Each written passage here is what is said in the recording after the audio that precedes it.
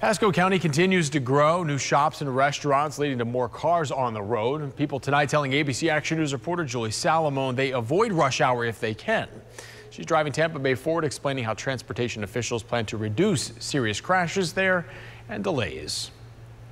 No matter what direction you are driving on State Road 56, you will diverge or cross to the left side of the road through the interchange. The Florida Department of Transportation illustrates with this animation how they'll convert the State Road 56 and I-75 interchange into a diverging diamond or DDI. Simply put, at each end of State Road 56, we're going to have traffic cross over to the left side of the road. So if you have cars that are going westbound, FDOT officials hosted an open house on Tuesday night showing design plans for three projects, including the diverging diamond in Pasco County, where construction started in February. But I had heard from other people that it works.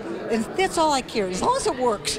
FDOT officials say a DDI will reduce delays by allowing traffic to enter the interstate without waiting at a left turn signal. It's designed to reduce traffic crashes and reduce congestion on interstate ramps. In the uh, peak hours in the afternoons and evenings, we can back up that whole ramp sometimes, which is two miles long. Drivers could also learn about two other projects, including construction that started two years ago on the State Road 56 extension from Meadow Pointe Boulevard to US 301 in southeastern Pasco County.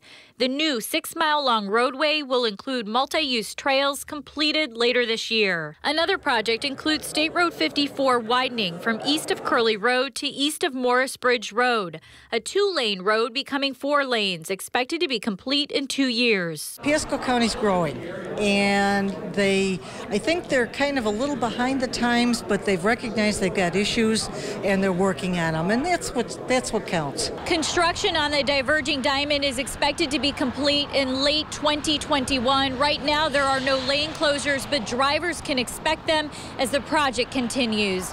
Reporting in Pasco County, Julie Salomone, ABC Action News.